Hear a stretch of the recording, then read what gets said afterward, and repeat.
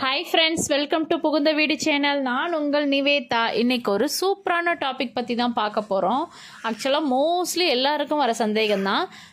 அதாவது நம்ம ப்ரெக்னென்சிக்கு பிளான் பண்ணுறோம் அந்த பீரியட் டைம்லையோ இல்லை மிஸ் ஆகியோ இல்லை பீரியட் டேட்டுக்கு முன்போ உங்களுக்கு வந்து பீரியட்ஸ் நல்லா ஆகாமல் ட்ராப் ட்ராப்பாக ஆகுதுங்களா?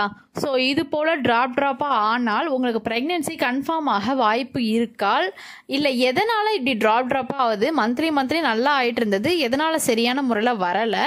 இதுக்கு என்னென்ன ரீசன்ஸ்லாம் இருக்கலாம்ன்றத பற்றி தான் இந்த வீடியோவில் டீட்டெயிலாக சொல்ல போகிறேன் அதுக்கு முன்னாடி நம்ம சேனலை சப்ஸ்கிரைப் பண்ணாதவங்க சப்ஸ்கிரைப் பண்ணிக்கோங்க. என் ஃபோன் நம்பர் வேணும்னு கேட்குறீங்க என் ஃபோன் நம்பர் வேணும்னா நான் ஸ்க்ரீனில் ஒரு நம்பர் தரேன்.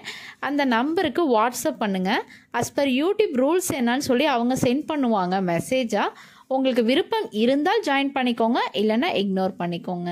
வாங்க வீடியோக்குள்ளே போகலாம்.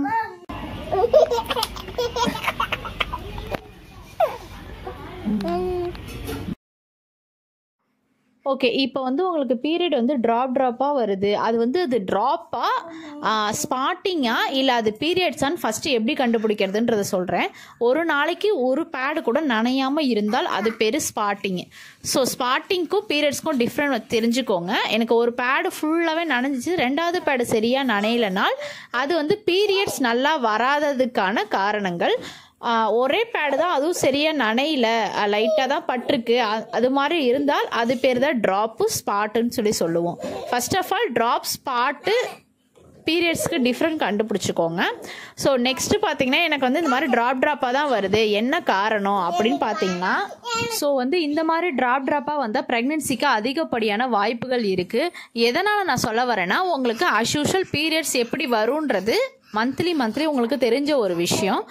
ஸோ மந்த்லி மந்த்லி பீரியட்ஸ் வந்து வரதை விட இது வந்து சரியாக படலை. ட்ராப் ட்ராப்பாக தான் வருது. ரெண்டு மூணு நாளாக வருது அப்படின்ற டிஃப்ரென்ஸ் உங்களுக்கே நல்லா தெரியும். அந்த மாதிரி சமயத்தில் நம்ம என்ன பண்ணணும்னு பார்த்தீங்கன்னா வீட்டில் பெட் ரெஸ்ட்டு கம்ப்ளீட்டாக எடுக்கணும்.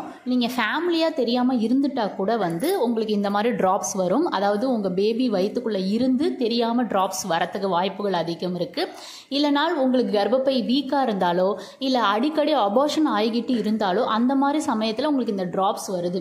உடனே உடனே நம்ம நெக்ஸ்ட் ரெமெடி என்ன பண்ணணும் அப்படின்னு பார்த்தீங்கன்னா நீங்கள் உடனே ஹாஸ்பிட்டல் போயிடணும். ஃபஸ்ட்டு அதான். இல்லை நைட் டைமில் எங்கள் எங்கள் இது வந்து ரொம்ப வில்லேஜ் தூரத்தில் போகணும் ஹாஸ்பிட்டல் அந்த மாதிரி சூழ்நிலையில் பார்த்தீங்கன்னா நீங்கள் வீட்டில் அப்போதைக்கு ஒன்றுமே பண்ணக்கூடாது. ஜஸ்ட்டு வாஷ் பண்ணிவிட்டு போய் படுத்துக்கணும். பெட் ரெஸ்ட்டு கம்ப்ளீட்டாக எடுக்கணும். அந்த ஒரே ஒரு ரெமெடி தான் நம்மளால் முடிஞ்ச வீட்டில் இருக்கிற ரெமெடி அதே போல் ஃபேமிலியாக இருக்கக்கூடாது. யூரின் மோஷனுக்கு மட்டும்தான் எந்திரிக்கணும். ஏ- அதாவது ஹாஸ்பிட்டல் போக முடியாத சுச்சுவேஷனில் இருந்தீங்கன்னா ஏன்னா சில பேர் அப்ராட்லேருந்துலாம் பேசுகிறீங்க அங்கெல்லாம் வந்து நினச்சோன்னெல்லாம் ஹாஸ்பிட்டல் போக முடியாதான் அப்பாயின்மெண்ட் வாங்கிட்டு அதுக்கப்புறம் அவங்க ஒரு குறிப்பிட்ட டேட் சொல்லுவாங்களாம். அப்போ தான் போக முடியும்னு சொல்லி நம்ம சப்ஸ்கிரைபர் சொல்லியிருக்காங்க.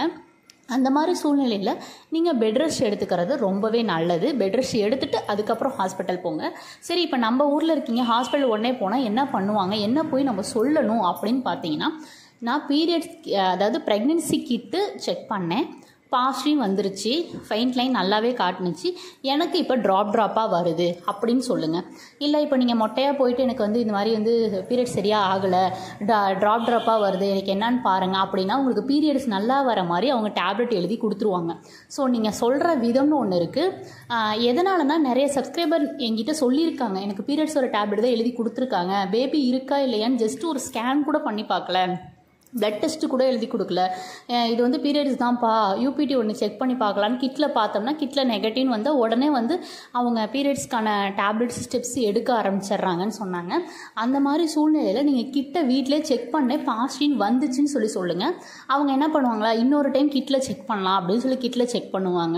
இல்லைனால் ஒரு சில டாக்டர் வந்து பிளட் டெஸ்ட் எடு எடுத்துகிட்டு வாங்க அப்படின்னு சொல்லுவாங்க. ஸோ சில பேருக்கு முப்பது நாள்லையோ முப்பது ரெண்டு நாள்லையோ இந்த மாதிரி ப்ளீடிங் ஆகுறப்ப கிட்ல நெகட்டிவ் தான் வரும். தெரியாது. ஸோ அந்த மாதிரி சூழ்நிலையில் நீங்கள் வெயிட் பண்ணுங்கள் ஒரு ஒரு வாரம் டு பத்து நாள் கழித்து நீங்கள் ஸ்கேன் பண்ணுறப்ப உங்கள் உங்களோட பேபி உங்கள் கர்ப்பப்பைக்குள்ளே தெரியும். இது எதனால் இவ்வளோ அஷூரிட்டியாக நான் சொன்னேன்னா என் லைஃப்லேயே நடந்த ஒரு உண்மையான ஒரு விஷயம். எனக்கும் வந்து நெகட்டிவ் தான் வந்தது கிட்டு. அதுக்கப்புறமேலு நான் முப்பத்தி ஆறு நாள்லேயே முப்பத்தி ஏழு நாள்லேயே செக் பண்ணேன். எனக்கு நெகட்டிவ் தான் வந்தது. சரி நெகட்டிவ் தான் வருது. கொஞ்சம் நாள் கழித்து செக் பண்ணேன்னு பார்த்தா நாற்பத்தோரு நாளில் செக் பண்ணேன். பாசிட்டிவ் ரொம்ப ஹாப்பி ஸோ பாசிட்டிவ் வந்துருச்சுன்னு சொல்லிட்டு பார்த்தா அன்னைக்கு எனக்கு ப்ளீட் ஆகிடுச்சு அதனால வந்து எனக்கு ரொம்ப அப்செட் ஆகிடுச்சு சரி எனக்கு நான் நினச்சிக்கிட்ட குழந்தை இல்லை ப்ளீட் ஆகிடுச்சு இல்லை அதனால் எனக்கு குழந்தை இருக்காது அப்படின்னு நான் நினச்சிக்கிட்டேன். இப்போ எப்படி நீங்கள் நினைக்கிறீங்களோ அதே போல தான் நானும். ஸோ அதுக்கப்புறம் எங்கள் அம்மா சொல்லி தான் நீங்கள் இல்லை இது பேபி இருக்குது பீரியட் ஆனாலும் பேபி உண்டு. எதனால் லாஸ்ட் மந்த்து தங்கியிருந்த சக்கை கூட கொஞ்சம் கொஞ்சமாக ட்ராப் ட்ராப்பாக வரும். அப்படின்னு சொன்னாங்க. இப்போ நான் எதனால் இந்த வேர்ட்ஸ் சொல்கிறேன்றது உங்களுக்கு தெரியும்னு நினைக்கிறேன்.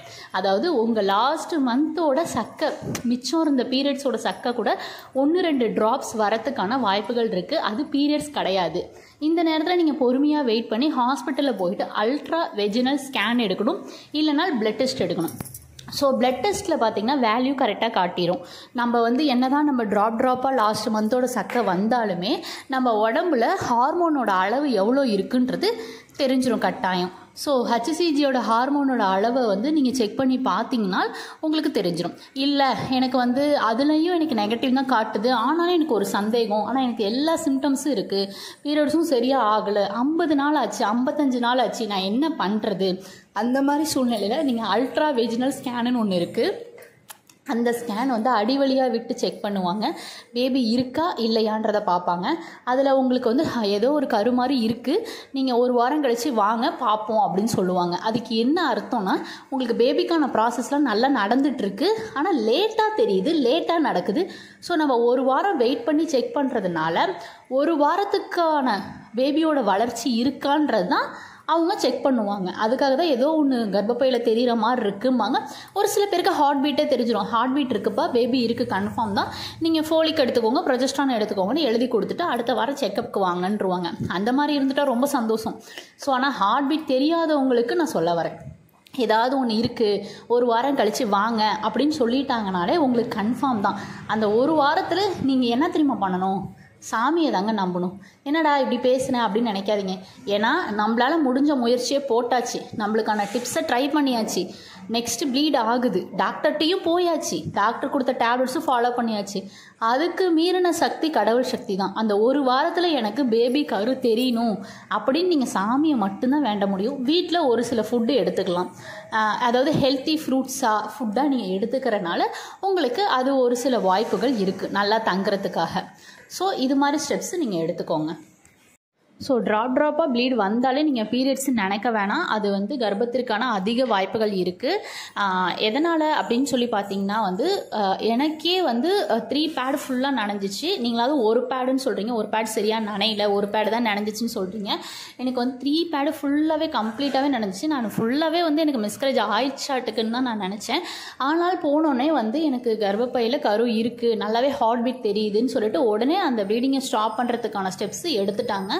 ஸோ நீங்கள் ஒரி பண்ணணும்னு அவசியமே இல்லை. நம்பிக்கையாக வெயிட் பண்ணுங்கள் உங் உங்கள் எல்லாருக்குமே கன்ஃபார்ம் ஆகணும்னு சொல்லி சாமிகிட்ட வேண்டிக்கிறேன். Bye friends